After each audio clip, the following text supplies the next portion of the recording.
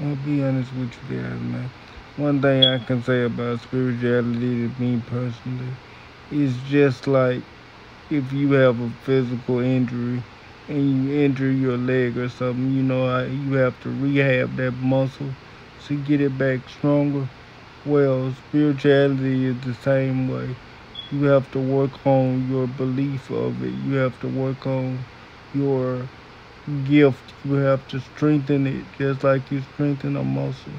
And for me, it's been a weird process. It's something I've always been born with since the day I was born.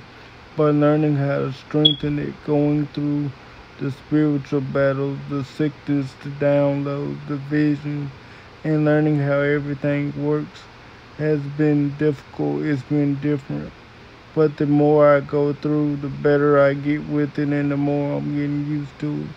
And the stronger my faith grows every day. It's difficult going through the process.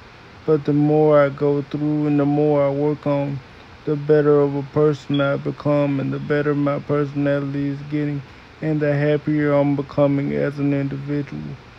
It's a difficult process, it's a different process. It's gonna push a lot of emotion out of you.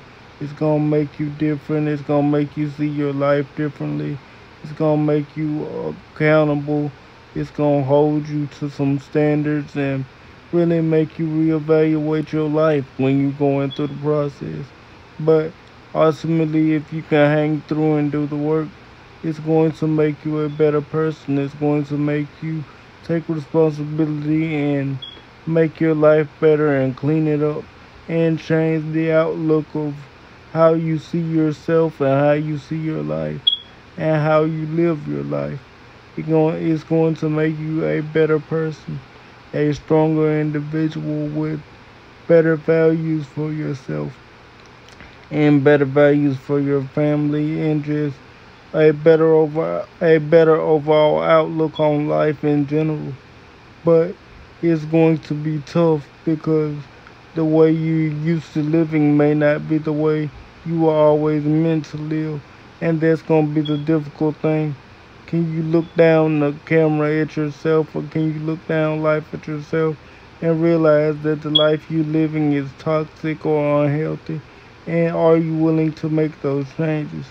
Because take it from me, it's not a comfortable thing to accept the way you look at yourself and realize you're not living the right way.